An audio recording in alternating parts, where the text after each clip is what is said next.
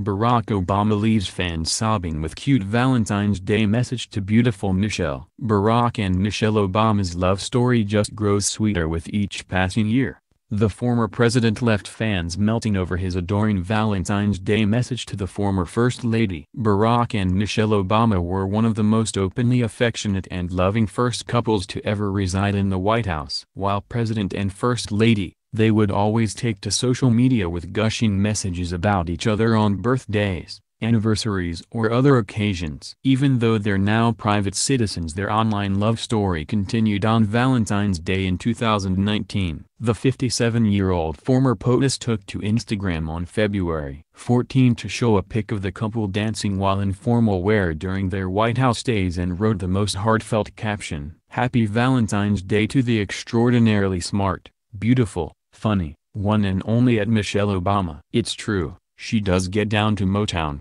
he captioned the adorable photo. The post is closing in on almost 2 million Instagram likes and fans are completely melting at their ongoing love story. Such a beautiful couple. What a true love. Hope in my next life I get to experience a great love. One person wrote in the comments. Another was so excited that the person used caps to write Happy Valentine's Day to the most beautiful and comma influential couples of all time. You are amazing in every way. Love you because you love her. Love you are amazing. One fan told the 44th President of the United States in the comments while another added, Love your wife. You are a lucky man. The love you two have for one another is beautiful, one person shared. You guys are the class and intellect that we miss so much. What a beautiful couple. Happy Valentine's Day to you both. Another wrote, Michelle, 55, shared her own Valentine's Instagram message that included a photo of her husband and their two daughters Malia, 20, and Sasha, 17,